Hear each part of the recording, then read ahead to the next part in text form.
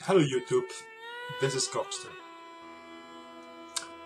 Why we straight people stand up for gay rights.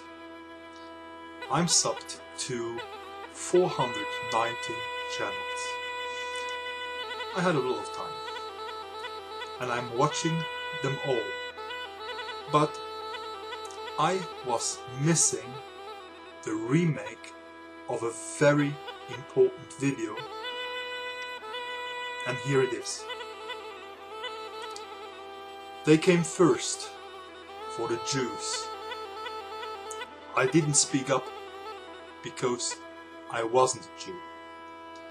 Then they came for the gypsy. I didn't speak up because I wasn't a gypsy.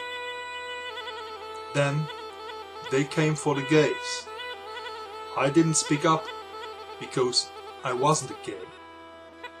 Then they came for the communists.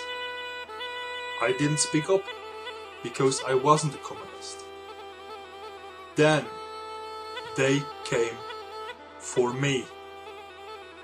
And by that time no one was left to speak up.